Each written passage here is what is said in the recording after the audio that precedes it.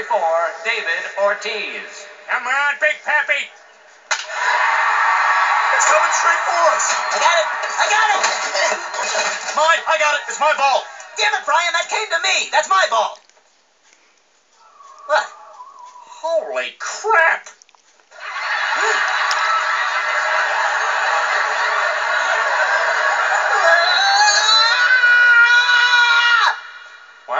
I guess all this time Quagmire should have been saying wiggity.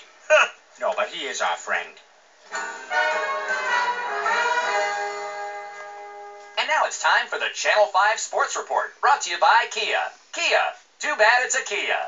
A big day at Fenway today as the Red Sox bested the Yankees 7 to 6. But what really has everyone talking is the fan who lost his toupee at the game. The hilarious video already has over 2 million views on YouTube. Comments ranged from sympathy all the way to racial slurs directed at others who chose to comment. Great.